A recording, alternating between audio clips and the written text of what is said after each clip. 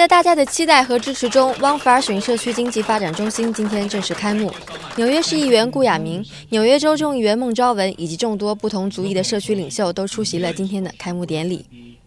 开幕现场人声鼎沸，大家都表达了对发展中心启动的支持。中心主任崔荣准告诉记者，汪弗尔逊将促进法拉盛各族裔的交流，帮助各族裔商业发展，并为社区民众提供有益的资源。We want to make sure that people are connected to each other in Flushing. So, um, whether it's African Americans or Latinos or non-Asians working together, I want to make sure that local residents and business people are connected, that they're communicating with each other, and maybe we can identify some collaborations in the future where we can really build up Flushing as one community.